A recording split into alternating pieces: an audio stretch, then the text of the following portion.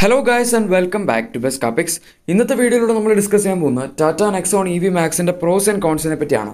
നമുക്ക് എന്തായാലും ആദ്യം ഈ വാഹനത്തിന്റെ പ്രോസിൽ നിന്ന് തന്നെ തുടങ്ങാം. ഇതിന്റെ ആദ്യത്തെ പ്രോ എന്ന് പറയുന്നത് ഈ വാഹനത്തിന്റെ പെർഫോമൻസ് തന്നെയാണ്. പണ്ടും നെക്സോൺ ഇവിയുടെ കാര്യത്തിൽ നമ്മൾ ആരും പെർഫോമൻസിലെ കുറ്റം പറഞ്ഞിരുന്നില്ല. ഏകദേശം nine point nine five seconds ആയിരുന്നു ഈ വാഹനത്തിന് സീറോ ടു ഹൺഡ്രഡ് എത്താൻ വേണ്ടിയിരുന്ന സമയം. പക്ഷേ ഇപ്പോൾ ഈ പുതിയ മോഡൽ വന്നതോടുകൂടി ഇതിന്റെ പവർ കൂടി. One forty three B H P and two fifty newton മീറ്റേഴ്സിന്റെ ടോർക്കാണ് ഈ വാഹനത്തിലെ ടോട്ടൽ പവർ വരുന്നത്. ഇതിന് നമ്മളിപ്പോൾ പണ്ടത്തെ മോഡലിനെ വെച്ച് കമ്പയർ ചെയ്യുകയാണെങ്കിൽ പണ്ടത്തെ മോഡലിന് നൂറ്റി ഇരുപത്തി ഏഴ് ബി എച്ച് പിയും ഇരുന്നൂറ്റി നാൽപ്പത്തി അഞ്ച് ന്യൂട്ടൺ മീറ്റേഴ്സിന്റെ ടോർക്കുമാണ് പവർ ഉണ്ടായിരുന്നത്.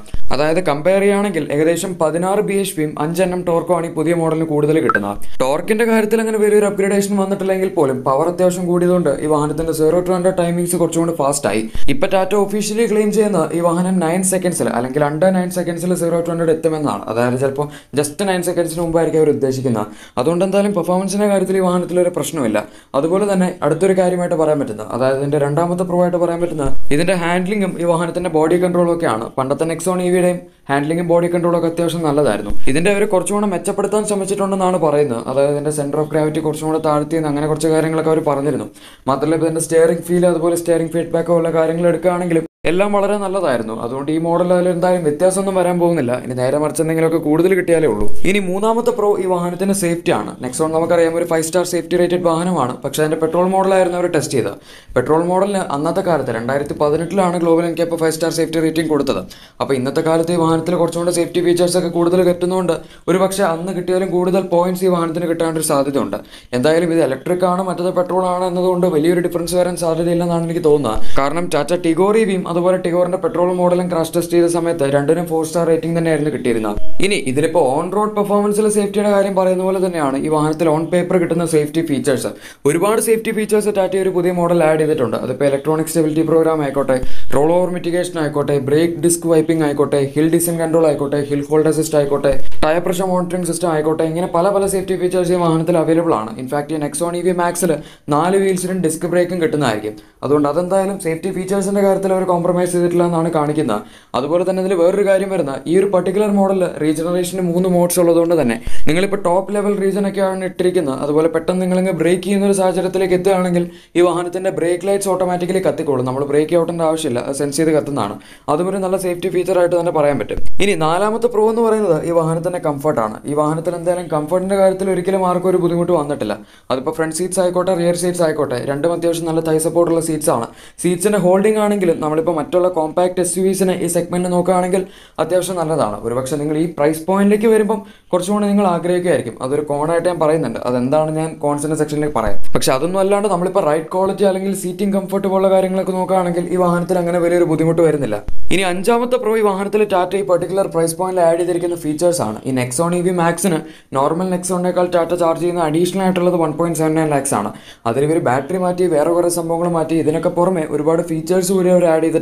അതിപ്പോൾ ഫ്രണ്ടിലത്തെ വെന്റിലേറ്റഡ് സീറ്റ്സ് ആയിക്കോട്ടെ എയർ പ്യൂരിഫയർ ആയിക്കോട്ടെ അതുപോലെ wireless phone charger auto dimming IRVMs ഇതുപോലുള്ള പല ഫീച്ചേഴ്സ് ഈ ഒരു വാഹനത്തിൽ അവൈലബിൾ ആണ്.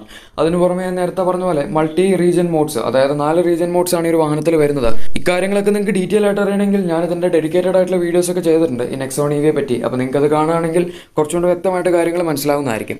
ബാക്കി അല്ലാതെ നോക്കുകയാണെങ്കിൽ ഇതിൽ മൂന്ന് ഡ്രൈവ് മോഡ്സും അവൈലബിൾ ആണ്. സ്പോർട്സ് ഇക്കോ സിറ്റി അതുകൊണ്ട് മൊത്തത്തിലുള്ള ഫീച്ചേഴ്സ് നോക്കുകയാണെങ്കിൽ ഈ വാഹനത്തിൽ ഇപ്പോൾ അത്യാവശ്യം നല്ല രീതിയിൽ തന്നെ ടാറ്റ മോട്ടോഴ്സ് കൊടുത്തിട്ടുണ്ട്. ഇനി അടുത്തൊരു പ്രൊവായിട്ട് പറയാൻ പറ്റുന്നത് ഇതൊരു ഇലക്ട്രിക് വാഹനമായതുകൊണ്ട് ഇതിന്റെ റണ്ണിംഗ് കോസ്റ്റ് വളരെ കുറവാണെന്നതാണ്. ഇലക്ട്രിക് വാഹനങ്ങളുടെ പൊതുവെയുള്ള കേസ് എടുക്കുകയാണെങ്കിൽ റണ്ണിംഗ് കോസ്റ്റ് ഏകദേശം ഒരു കിലോമീറ്ററിന് ഒന്ന് മുതൽ ഒന്നര രൂപ വരെയാണ് വരുന്നത്. പക്ഷേ അതേസമയം പെട്രോൾ അല്ലെങ്കിൽ ഒരു ഡീസൽ കാറൊക്കെ എടുക്കുകയാണെങ്കിൽ ഏകദേശം എട്ട് രൂപയൊക്കെയാണ് ഒരു പെട്രോൾ വാഹനത്തിനൊക്കെ റണ്ണിംഗ് കോസ്റ്റ് വരുന്നത്. എട്ട് മുതൽ പത്ത് രൂപയുടെ ഇടയിൽ വരെയൊക്കെയാണ് വരുന്നത്. അപ്പോൾ അതിനെ വെച്ച് നോക്കുമ്പം ഇതെന്തായാലും വളരെ ചീപ്പാണ് മെയിന്റെയിൻ ചെയ്യാനും അതുപോലെ റൺ ചെയ്യാനും ഒക്കെ. അതുകൊണ്ട് അതൊരു പ്രൊവായിട്ട് പറയാം. പക്ഷേ അത് ഈ വാഹനത്തിന്റെ മാത്രം പ്രോ അല്ല എല്ലാ ഇലക്ട്രിക് വാഹനങ്ങളുടെ ഒരു പ്രോ ആണ്. അതുപോലെ ഇനി അടുത്തൊരു പ്രോ ആയിട്ട് വാഹനത്തിൽ ഇത് ലാസ്റ്റ് പ്രോ ആണ്. അതാണ് ഈ വാഹനത്തിന്റെ റേഞ്ച് ഇതിന് മുമ്പുണ്ടായിരുന്ന നെക്സോണിയുടെ റേഞ്ച് സത്യം പറഞ്ഞാൽ കുറച്ച് കുറവായിരുന്നു. മുന്നൂറ്റി പന്ത്രണ്ട് കിലോമീറ്റേഴ്സ് ആയിരുന്നു അവർ ക്ലെയിം ചെയ്തിരുന്ന. ഏറ്റവും കുറവായിട്ട് ആൾക്കാർക്ക് കിട്ടിക്കൊണ്ടിരുന്നത് നൂറ്റമ്പതൊക്കെയാണ്. മാക്സിമം ആൾക്കാർക്ക് ഇരുന്നൂറ്റമ്പത് വരെയൊക്കെ ചില സമയത്തൊക്കെ കിട്ടിയിട്ടുണ്ട്. പക്ഷേ അതായിരുന്നു അതിന്റെ റേഞ്ച് അതിൽ കൂടുതൽ പോയിട്ടില്ലായിരുന്നു.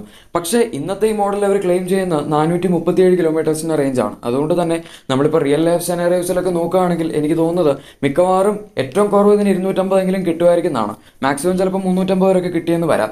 അപ്പോൾ അതെന്തായാലും ഒരു അബോവ് ആവറേജ് റേഞ്ച് ആയിട്ട് തന്നെ പറയാം. പ്രത്യേകിച്ച് നമ്മൾ ഈ ഒരു സെഗ്മെന്റിൽ വരുന്ന മറ്റുള്ള വാഹനങ്ങളുടെ റേഞ്ച് നോക്കുകയാണെങ്കിൽ എം ജി സൈഡ് സിവിക്ക് ഏകദേശം നാനൂറ്റി അറുപത്തൊന്ന് കിലോമീറ്റേഴ്സാണ് അവർ റേഞ്ച് ക്ലെയിം ചെയ്യുന്നത്. അതിൽ അമ്പത് പോയിന്റ് മൂന്ന് കിലോ ബാറ്ററി പാക്കാണ് വരുന്നത്. നെക്സോൺ ഇവിയിൽ നാൽപ്പത് പോയിന്റ് അഞ്ച് കിലോ ബാറ്ററി പാക്കാണ് വരുന്നത്. ബാറ്ററി പാക്കിൽ വ്യത്യാസമുണ്ട്. പക്ഷേ അതൊരു ട്യൂൺ ചെയ്തിരിക്കുന്നതിൽ എന്തെങ്കിലും വ്യത്യാസം ഉണ്ടാവും. അതുപോലെ സെഡ് സി വി എന്ന് പറയുന്നത് ഇതിനേക്കാൾ കുറച്ചുകൂടെ ഹെവി കാറാണ് അതിന് സൈസ് കൂടുതലാണ്. നെക്സോൺ ഇവി കുറച്ചും കൂടെ ചെറുതാണ്. അതുകൊണ്ടായിരിക്കാം ഇത്രയും ചെറിയ ബാറ്ററി പാക്കിൽ അതായത് മറ്റതിനെ വെച്ച് കമ്പയർ ചെയ്യുമ്പോൾ ചെറിയ ബാറ്ററി പാക്കിൽ ഇതിന് കൂടുതൽ റേഞ്ച് കിട്ടുന്നത്. എന്തായാലും എന്നെ സംബന്ധിച്ചിടത്തോളം ഇതൊരു അബോ ആവറേജ് റേഞ്ച് ആയിട്ട് തന്നെയാണ് ഞാൻ പറയുന്നത്. പിന്നെ ഈ വാഹനത്തിന്റെ ചാർജിങ് ടൈം ആണെങ്കിൽ പോലും ഇപ്പോൾ പുതിയതായിട്ട് seven point two kilo A C fast charger അവർ വീട്ടിൽ വെച്ച് തരുന്നുണ്ട് ആറര മണിക്കൂറിൽ ഈ വാഹനം വീട്ടിൽ നിന്ന് തന്നെ ചാർജ് ചെയ്യേണ്ട ഒരു ഓപ്ഷൻ ഡാറ്റ കൊടുക്കുന്നുണ്ട്. ഇത് കുറച്ച് കോസ്റ്റ്ലിയാണ് അമ്പതിനായിരം രൂപ അഡീഷണൽ കൊടുത്താൽ മാത്രമേ നിങ്ങൾക്ക് ചാർജർ കിട്ടുള്ളൂ. പക്ഷെ എന്റെ അഭിപ്രായത്തിൽ ഇത് അഡീഷണൽ കോസ്റ്റ് കൊടുക്കുന്ന കംപ്ലീറ്റ്ലി വർത്ത് ആണ്. കാരണം മറ്റതൊരു ത്രീ പോയിന്റ് ത്രീ കിലോ അവർ വരുന്ന ചാർജറാണ് അത് വളരെ സ്ലോ ആയിരിക്കും. പ്രത്യേകിച്ച് എന്റെ ബാറ്ററിയുടെ സൈസ് തന്നെ നാൽപ്പത് കിലോ വാട്ട് അവറിന് അടുത്തുള്ളതുകൊണ്ട് ഏകദേശം ഒരു പതിമൂന്ന് മണിക്കൂറെങ്കിലും എടുക്കും വീട്ടിൽ നിങ്ങൾക്ക് ചാർജ് ചെയ്യാൻ ഫുൾ ചാർജ് ചെയ്യാൻ. പക്ഷെ അതേസമയം ഇതിൽ അതിന്റെ പകുതി സമയം കൊണ്ടാവും. അതുകൊണ്ട് എന്തായാലും നിങ്ങൾ ഒരു മോഡൽ എടുക്കുകയാണെങ്കിൽ ഇതിന്റെ സെവൻ പോയിന്റ് ത്രീ കിലോ ടവർ വരുന്ന ചാർജർ തന്നെ എടുക്കുക. ഇനി നമുക്ക് ഈ വാഹനത്തിന്റെ കോൺസിലേക്ക് കിടക്കാം. ഇതിന്റെ ആദ്യത്തെ കോൺ ഈ പ്രൈസ് പോയിന്റിൽ അവർക്ക് വേണമെങ്കിൽ കുറച്ചുകൂടെ ഫീച്ചേഴ്സ് കൊടുക്കാമായിരുന്നു എന്നതാണ്. അവർ ഒരുപാട് ഫീച്ചേഴ്സ് കൊടുത്തിട്ടുണ്ട് സമ്മതിച്ചു. പക്ഷെ എന്നാൽ പോലും നമ്മളിപ്പോൾ ഈ ഒരു റൈവലായിട്ട് ഈ വാഹനത്തിൽ വരുന്ന ക്രെറ്റ സെൽട്ടോസ് അതൊക്കെയാണ്. അതായത് ഈ പ്രൈസ് പോയിന്റിൽ ഒരുപാട് ഫീച്ചേഴ്സ് ഒന്നും ഞാൻ ആവശ്യപ്പെടുന്നില്ല. പക്ഷേ ഇരുപത്തൊന്ന് ലക്ഷം രൂപ ഓൺറോഡ് വരുന്ന ഒരു വാഹനം എന്ന രീതിയിൽ നോക്കുകയാണെങ്കിൽ ഇതിൽ വേണമെങ്കിൽ അവർക്ക് എൽ ഇ ഡി കെറ്റ്ലാംസ് കൊടുക്കാമായിരുന്നു. അതുപോലെ കുറച്ചുകൂടെ വലിയ സൈസുള്ള ഒരു ഇൻഫോർട്ടൈം സിസ്റ്റം സേഫ് ഇപ്പോൾ ഹാരിയറിന്റെ അല്ലെങ്കിൽ സഫാരിയുടെ eight point eight inch size വരുന്ന ഇൻഫോർട്ടൈം സിസ്റ്റം ഈ വാഹനത്തിൽ കൊടുക്കാമായിരുന്നെങ്കിലും കുഴപ്പമില്ലായിരുന്നു. പക്ഷെ അതൊന്നും അവർ ചെയ്തിട്ടില്ല. ഇത്രയും ഫീച്ചേഴ്സ് ഒക്കെ ഇതിൽ സ്റ്റാൻഡേർഡ് ആയിട്ട് നോർമൽ നെക്സോണിൽ വരുന്ന പോലെ തന്നെയാണ് കൊടുത്തിരിക്കുന്നത്. അപ്പോൾ അതൊക്കെ വേണമെങ്കിൽ ഇതിൽ മാറ്റാമായിരുന്നു തോന്നിയൊരു കാര്യമാണ്. പിന്നെ രണ്ടാമത്തെ കോണായിട്ട് പറയാൻ പറ്റുന്ന എല്ലാവർക്കും തോന്നണമെന്നില്ല. പക്ഷേ ഈ വാഹനത്തിന്റെ റിയർ ഡിസൈനാണ് ഇതിപ്പോൾ ഞാനായിട്ട് പറയുന്നല്ല ഒരുപാട് പേര് കമന്റ് ചെയ്ത് പറയാറുണ്ട് ഇതിന്റെ റിയർ ഡിസൈൻ കുറച്ചുകൂടെ മെച്ചപ്പെടുത്തേണ്ട സമയമായി എന്ന്. രണ്ടായിരത്തി പതിനേഴിൽ നെക്സോൺ ലോഞ്ച് ചെയ്യുന്ന സമയത്ത് അത്യാവശ്യം ക്ലാസ് ആയിട്ടുള്ള ഒരു ഡിസൈൻ ആയിരുന്നു. പക്ഷേ ഇന്നിതിപ്പോൾ കുറച്ച് ഡേറ്റഡ് ആയി തുടങ്ങിയിട്ടുണ്ട്. ചിലപ്പോൾ കുറച്ച് കാലം കഴിയുമ്പോൾ അവർ അപ്ഗ്രേഡ് ചെയ്യുമായിരിക്കും. ടാറ്റ എന്തായാലും നെക്സോൺ അപ്ഗ്രേഡ് ചെയ്യുന്ന കാര്യത്തിൽ ഒട്ടും പിശുക്ക് കാണിച്ചിട്ടില്ല. അവർ ഇടയ്ക്കിടയ്ക്ക് അപ്ഡേറ്റ്സ് കൊണ്ടുവരാറുണ്ട്. ഇനി അടുത്ത മൂന്നാമത്തെ കോണായിട്ട് പറയാൻ പറ്റുന്ന ഈ പ്രൈസ് പോയിന്റ് ഈ വാഹനത്തിന്റെ റിയർ സീറ്റ് സ്പേസ് ആണ്. നമ്മൾ ഈ നെക്സോൺ ആസ് സച്ച് ഇതിന്റെ റിയർ സീറ്റ് സ്പേസ് നോക്കുകയാണെങ്കിൽ ഒട്ടും മോശമൊന്നും അല്ല അത്യാവശ്യം നല്ല കംഫർട്ടബിൾ സീറ്റ്സ് ആണ്. അത്യാവശ്യം സ്പേസ് ഉണ്ട്. പക്ഷേ ഇരുപത്തൊന്ന് ലക്ഷം രൂപയ്ക്കുള്ള സ്പേസ് ഉണ്ടോ എന്നതാണ് എന്റെ ചോദ്യം. ഇതിപ്പോൾ ഈ വാഹനത്തിന് മാത്രം പ്രശ്നമല്ല. ഓൾമോസ്റ്റ് എല്ലാ ഇലക്ട്രിക് വാഹനങ്ങളും ഫേസ് ചെയ്യുന്ന ഒരു പ്രശ്നമാണ്. അതിപ്പോൾ എം ജി സൈഡ് സി വി ആണെങ്കിൽ ഏകദേശം ഇരുപത്തി എട്ട് പോയിന്റ് ആറ് ലക്ഷം രൂപയാണ് അതിന്റെ ഓൺ റോഡ് പ്രൈസ് വരുന്നത്. അത്രയും പ്രൈസിൽ ആ വാഹനത്തിന്റെ റിയർ സീറ്റ് സ്പേസും ആക്ച്വലി വളരെ കുറവാണ്. അതുകൊണ്ട് ഇതിപ്പോൾ ഒരു വലിയ കോണായിട്ട് പറയാൻ പറ്റില്ല. കാരണം ഈ വാഹനത്തിന് ഡീസന്റ് സ്പേസ് ഉണ്ട്. പക്ഷേ ഈ പ്രൈസിൽ നോക്കുകയാണെങ്കിൽ ഇതൊരു കോണായിട്ട് തന്നെ പറയേണ്ടി വരും. ഇനി അടുത്തൊരു കോണായിട്ട് പറയാൻ പറ്റുന്ന ഈ വാഹനത്തിന്റെ പ്രൈസാണ് അതായത് നമ്മൾ ഈ വാഹനത്തിൽ ഇനീഷ്യലി ഇൻവെസ്റ്റ് ചെയ്യുന്ന കോസ്റ്റ് എന്ന് പറയുന്നത് വളരെ കൂടുതലാണ്. ഇരുപത്തൊന്ന് പോയിന്റ് മൂന്ന് അഞ്ച് ലക്ഷം രൂപയാണ് ഈ വാഹനത്തിന്റെ ടോപ്പൻ അതായത് ഏറ്റവും ടോപ്പൻ മോഡലിന്റെ ഓൺ റോഡ് പ്രൈസ് അത് പക്ഷേ നിങ്ങൾ അപ്പം സ്പെൻഡ് ചെയ്യുന്നത് കൂടുതലാണെങ്കിലും കുറച്ച് കാലം കഴിയുമ്പോൾ ഇപ്പോൾ നിങ്ങൾക്ക് റണ്ണിങ് കോസ്റ്റ് ഒരു ദിവസം ഒരു അമ്പത് കിലോമീറ്റർ വെച്ചാണെന്ന് നോക്കുകയാണെങ്കിൽ നിങ്ങൾക്ക് അഞ്ച് വർഷത്തിനുള്ളിൽ അഞ്ച് ലക്ഷം രൂപ വരെ ലാഭിക്കാൻ പറ്റുന്നതാണ്. ഒരു പെട്രോൾ വണ്ടിയെ വെച്ച് കമ്പയർ ചെയ്യുമ്പോൾ ടാറ്റ പറയുന്നത് അതെന്തായാലും നല്ലൊരു കാര്യമാണ്. അപ്പോൾ ഇനീഷ്യൽ ഇൻവെസ്റ്റ്മെന്റ് കൂടുതലാണെങ്കിലും കുറച്ച് കാലം കഴിയുമ്പോൾ ഇൻവെസ്റ്റ്മെന്റ് പതുക്കെ പതുക്കെ കുറയും. ഏറ്റവും കൂടുതൽ നിങ്ങൾ ഒരു ഇലക്ട്രിക് വാഹനം എടുക്കുകയാണെങ്കിൽ നിങ്ങൾ സേവ് ചെയ്യാൻ പോകുന്നത് ഇതിന്റെ റണ്ണിങ് കോസ്റ്റിന്റെ കാര്യത്തിൽ തന്നെയാണ്. അതിലൊരു സംശയമില്ല ഞാൻ ആക്ച്വലി ഇതിന്റെ പ്രോസിൽ ഒന്ന് പറഞ്ഞായിരുന്നു. ഇനി അടുത്തൊരു കോണായിട്ട് ഇതിപ്പോൾ ഈ വാഹനത്തിന് മാത്രം കോണല്ല ടോട്ടൽ ഇൻഫ്രാസ്ട്രക്ചറിന് തന്നെ ഒരു കോണാണ്. ഇതിപ്പോൾ നമ്മൾ പണ്ടത്തെ അവസ്ഥ വെച്ച് കമ്പയർ ചെയ്യുകയാണെങ്കിൽ ഇപ്പോൾ കുറച്ചുകൂടെ മെച്ചപ്പെട്ടിട്ടുണ്ടെങ്കിൽ പോലും നമ്മുടെ ഇപ്പോഴത്തെ ചാർജിങ് ഇൻഫ്രാസ്ട്രക്ചറും അത്ര ഗംഭീരമായി എന്ന് പറയാൻ പറ്റില്ല. ഓരോ അടുത്തടുത്തും ചാർജേഴ്സ് കിട്ടുന്നുണ്ട്. അടുത്തടുത്തെന്ന് പറയുന്നത് ഒരു നിശ്ചിത ദൂരം വെച്ച് നോക്കുകയാണെങ്കിൽ ചാർജസ് അവൈലബിൾ ആണ്. നിങ്ങൾക്ക് ഇപ്പോൾ കുറച്ചൊരു ലോങ് റൂട്ടൊക്കെ പോകണമെങ്കിൽ ഒരു പ്രാവശ്യം അല്ലെങ്കിൽ രണ്ട് പ്രാവശ്യമൊക്കെ ചാർജ് ചെയ്ത് വേണമെങ്കിൽ പോകാൻ പറ്റും. പക്ഷേ ഒരു പ്രശ്നം വരുന്നത് നമുക്ക് വളരെ അടുത്തായിട്ട് ഇപ്പോൾ ഒരു അമ്പത് കിലോമീറ്റർ അല്ലെങ്കിൽ നൂറ് കിലോമീറ്റർ ചുറ്റളവിന്റെ അടുത്തൊന്നും ഇപ്പോൾ ചാർജസ് കിട്ടാത്ത ഒരു അവസ്ഥയിലേക്ക് വരികയാണെങ്കിൽ ചിലപ്പോൾ നിങ്ങൾക്ക് കുറച്ച് ഓവർ ബുദ്ധിമുട്ടാവേണ്ട ഒരു സാധ്യതയുണ്ട്. ഇപ്പോൾ നിങ്ങളുടെ ഒരു ചാർജിങ് സ്റ്റേഷനിലേക്ക് പോയി. അവിടെ രണ്ടോ മൂന്നോ വണ്ടികൾ ഇപ്പോൾ വെയിറ്റ് ചെയ്യാൻ കിടക്കുകയാണെങ്കിൽ നിങ്ങൾ അതിന് വേണ്ടി ഒരുപാട് നേരം ആ വാഹനങ്ങൾ ചാർജ് ചെയ്ത് തീരുന്നത് വരെ വെയിറ്റ് ചെയ്യേണ്ടതായിട്ടൊരു അവസ്ഥ വരും. മാത്രമല്ല ഒരു വണ്ടി ചാർജ് ചെയ്യാന്ന് പറഞ്ഞാൽ ഏകദേശം ഒരു മിനിമം അരമണിക്കൂർ മുതൽ ഒരു മണിക്കൂർ വരെങ്കിലും ഒരാൾ ചാർജ് ചെയ്യും. അതുകൊണ്ട് അത് കുറച്ച് ടൈം കൺസ്യൂമിങ് ആവും. അപ്പോൾ ചാർജിങ് സ്റ്റേഷൻസ് കൂടുകയാണെങ്കിൽ ഈ പ്രശ്നം പതുക്കെ പതുക്കെ ഇല്ലാണ്ടാവും. പക്ഷേ ഇപ്പോഴത്തെ ഒരു അവസ്ഥയിൽ നോക്കുകയാണെങ്കിൽ ഇലക്ട്രിക് വാഹനങ്ങളുടെ നമ്പേഴ്സ് കൂടുന്നതനുസരിച്ച് അത്രയും ചാർജിങ് സ്റ്റേഷൻസ് ഇല്ലാത്ത ഒരു പ്രശ്നം ഇതും കൂടിയാണ്. ഇനി ലാസ്റ്റ് ആൻഡ് ഫൈനൽ കോൺ ഈ നെക്സോണിന്റെ തന്നെ ഒരു കോണാണ് അതായത് നിങ്ങളിപ്പോൾ പെട്രോൾ ഡീസൽ ഇ വി ഏത് നെക്സോൺ എടുത്താലും ഇതിലൊക്കെ ഒരു പ്രശ്നം ഉണ്ടാകും അത് കുറച്ച് കാര്യങ്ങളുണ്ട്. ഒന്ന് ഇതിന്റെ ബ്ലൈൻഡ് സ്പോട്ടാണ് ഈ വാഹനത്തിന്റെ എ പില്ലർ കുറച്ച് തിക്കാണ്. അതുകൊണ്ട് കുറച്ച് വലിയൊരു ബ്ലൈൻഡ് സ്പോട്ട് ഈ വാഹനത്തിൽ ഉണ്ടാകുന്നുണ്ട് പിന്നെ ഈ വാഹനത്തിന്റെ ഇൻഗ്രസ് ആൻഡ് എഗ്രസ് ആണ്. അതായത് ഇപ്പോൾ നെക്സോൺ എടുക്കുകയാണെങ്കിൽ ഇതിന്റെ റൂഫ് ലൈൻ ആക്ച്വലി കുറച്ച് ഫ്ലോട്ടിംഗ് ആയിട്ടാണ് പോകുന്നത്. അതായത് ഒരു കൂപ്പയിലേക്ക് ഇൻസ്പയർഡ് ഡിസൈനാണ് ഫോളോ ചെയ്തിരിക്കുന്നത്.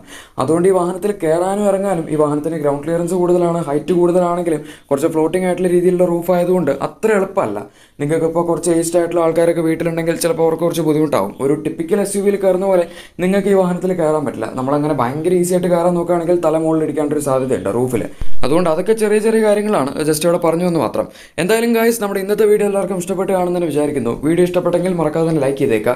ഇതുപോലുള്ള വാഹനങ്ങളുടെ കൂടുതൽ അപ്ഡേറ്റ്സും ഡീറ്റെയിൽസും എല്ലാം നിങ്ങൾക്ക് തന്നെ ആദ്യം ലഭിക്കാൻ താല്പര്യമുണ്ടെങ്കിൽ മറക്കാതെ തന്നെ ചാനൽ സബ്സ്ക്രൈബ് ചെയ്യുക. കൂടെ സൈഡിൽ കൊടുത്തിരിക്കുന്ന ബെൽ ബട്ടനോട് പ്രസ് ചെയ്ത് അതോൾ നോട്ടിഫിക്കേഷൻസ് ആക്കി വയ്ക്കുകയാണെങ്കിൽ ഞങ്ങളുടെ അപ്കമിംഗ് വീഡിയോസിന്റെ അപ്ഡേറ്റ്സ് എല്ലാം നോട്ടിഫിക്കേഷൻസ് ആയിട്ട് നിങ്ങൾക്ക് തന്നെ ആദ്യം ലഭിക്കുന്നതായിരിക്കും. Thank for watching my video